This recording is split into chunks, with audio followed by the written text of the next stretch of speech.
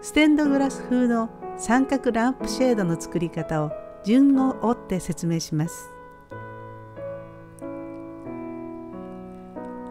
色上質紙特厚口 A4 黒と全面貼り付く付箋紙ペタを使います。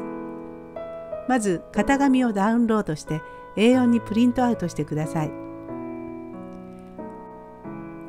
型紙を黒上質紙と重ねて周りをホッチキスで留めます。次に差し込み口をカッターナイフで切ります。それから周りを切っていきます。細かいところから切っていきましょう。カッターナイフを使っても構いません。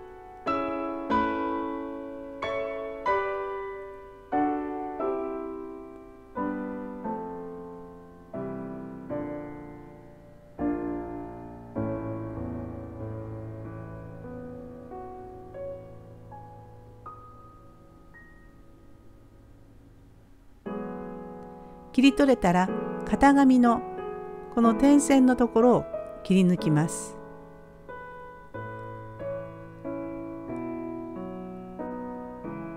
外側の部分と黒い上質紙を重ね色鉛筆などで印をつけます。この内側の部分を切り取っていきます。この辺りが正面になります。正面になるところから切っていきましょう。模様は細かく切った方がきれいにできます。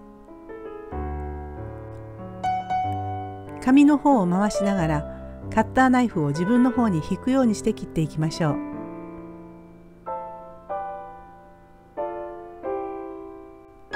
特厚口の色上質紙は画用紙よりもコシが強く破れにくいので切り絵に向いています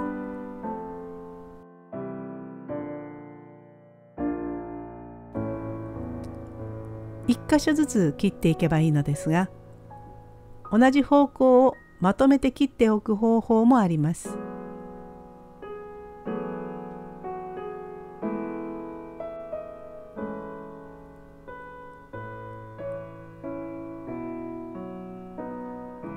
十字の星形にする場合はまずひし形に切っておきそれを90度回してから上下を切り取ると良いでしょう。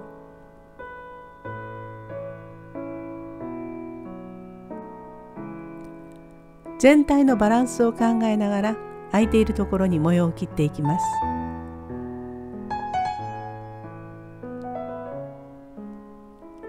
出来上がったら小さな穴を開けてみましょう。画鋲と段ボールなど下に敷くものを用意します。段ボールを下に敷いて画鋲を突き刺すようにして小さい穴を開けていきます。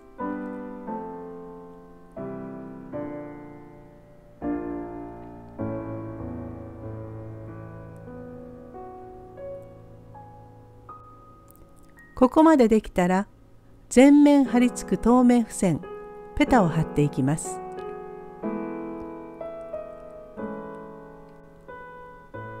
好きな色を1枚ずつ剥がして穴が開いているところにペタペタと貼っていきましょ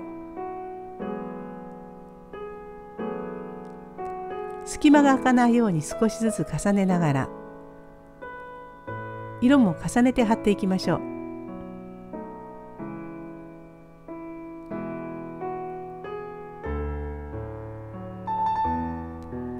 貼り終わったらペタを貼った方を内側にして三角帽子の形にします。出っ張りの部分を切り込みに差し込んでください。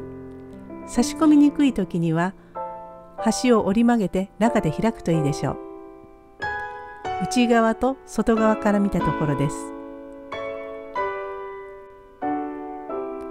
LED のミニライトをこの中に入れると針で開けた細かい模様やペタの重なりの美しい色が見えます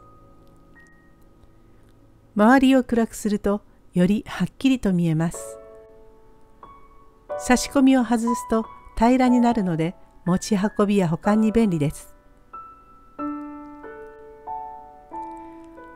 模様の形やペタの色貼り方でオリジナルのランプシェードを作ることができます。